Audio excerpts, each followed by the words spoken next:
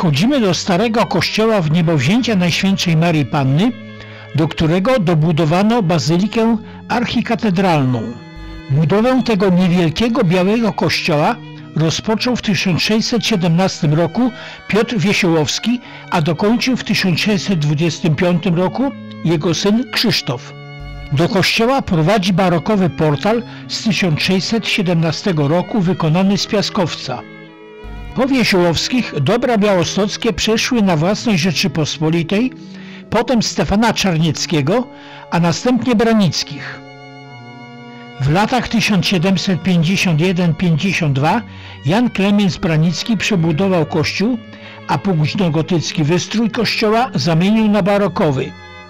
W ołtarzu głównym znajduje się obraz w niebowzięcie Najświętszej Marii Panny namalowany przez Szkota Augustyna Mirysa.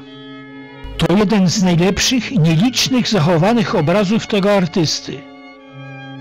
W zwieńczeniu oko opatrzności otoczone postaciami aniołków. Ołtarz jest bogato zdobiony i złocony.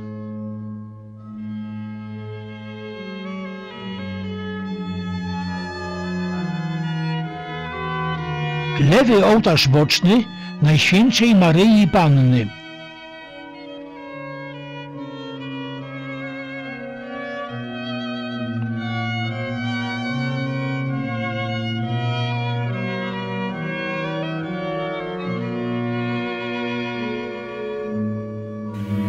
Obok ołtarza monument serca Jana Klemensa Branickiego.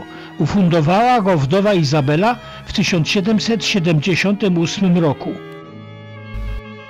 Przy prawym bocznym ołtarzu Ukrzyżowania Pańskiego stoi piękna barokowa chrzcielnica.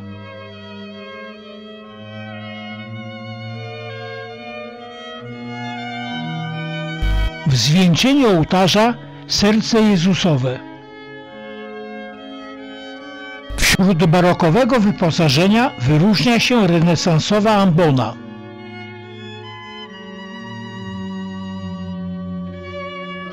Późnobarokowe organy ufundował w 1753 roku Jan Klemens Branicki, a wykonał Antoni Wierzbowski z Warszawy. Odkryty fresk Czecha Antoniego Herliczki. Nietypowe epitafium Izabeli Branickiej ufundowane przez podopieczną Hetmanowej Weronikę Paszkowską w 1825 roku.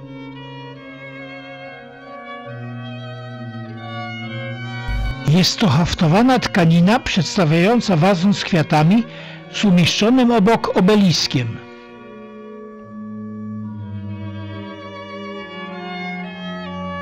Obok ołtarza monumer set Stefana Mikołaja Branickiego i Katarzyny Aleksandry Branickiej. Do starego kościoła dobudowano w latach 1900-1905 nową świątynię w stylu neogotyku nadwiślańskiego. Kościół zaprojektował Józef Pius Dzikoński, architekt i konserwator zabytków, przedstawiciel historyzmu. Wierni uzyskali zgodę od władz carskich jedynie na rozbudowę starego kościoła. W wyniku skorumpowania carskich urzędników przybudówką urosła do kościoła o długości 90 metrów z wieżami o wysokości 72,5 metra. Na przecięciu naw i transeptu umieszczono sygnaturkę. Józef Dziekoński nawiązał w swym projekcie do kościoła świętego Floriana na warszawskiej Pradze. W tym panonie nad wejściem umieszczono płaskorzeźbę Ukrzyżowanie –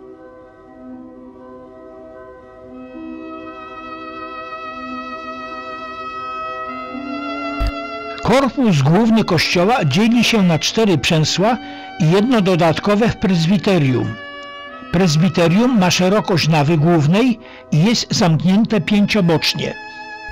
Ołtarz główny zaprojektował Wincenty Bogaczyk, a wykonała firma Szpetkowskiego z Warszawy. Sceny figuralne umieszczono w płaskich wnękach na wzór ołtarzy średniowiecznych. Główna scena przedstawia rzeźbę w niebowzięcia Najświętszej Maryi Panny. W dolnym poziomie znajdują się apostołowie, wyżej unosi się postać Maryi, a całość kompozycji wieńczy wyobrażenie Trójcy Świętej. Na szczycie ołtarza symbole czterech ewangelistów. Ołtarz wykonany jest z drewna dębowego, a figury i zdobienia z drewna lipowego. Żabki i kwiatony pokryto złotem dukatowym. Sklepienia naw i prezbiterium są krzyżowe, a na przecięciu naw gwiaździste. Na początku 1925 roku warszawski rzeźbiarz Wincenty Begnesy przedstawił projekt stalli z neogotycką dekoracją. Ustawiono je obustronnie w przęśle ołtarzowym. Z prawej strony prezbiterium znajduje się ołtarz świętego Antoniego zbudowany w 1906 roku. W ołtarzu umieszczono obrazy świętego Antoniego i świętego Kazimierza oraz figury świętego Augustyna i świętego Ambrożego.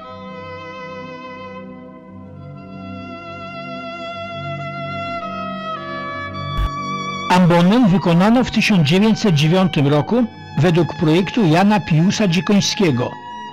Na jej marmurowym pulpicie umieszczono mosiężną płaskorzeźbę Jezus wśród dzieci. Ołtarz Matki Boskiej Częstochowskiej w prawym transepcie pochodzi z 1908 roku.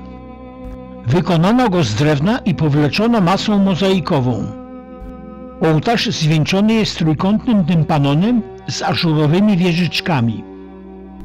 W trzeciej kondygnacji w środkowej arkadzie umieszczono obraz Matki Boskiej Częstochowskiej flankowany figurami świętego Józefa z Dzieciątkiem i świętego Łukasza. Nad obrazem figura Chrystusa flankowana postaciami aniołów. Ołtarz jest bogato zdobiony neogotyckimi detalami architektonicznymi. Z lewej strony prezbiterium w kaplicy umieszczono ołtarz Pana Jezusa ukrzyżowanego, wykonany z drewna lipowego przez Wincentego Bokaczyka w 1926 roku.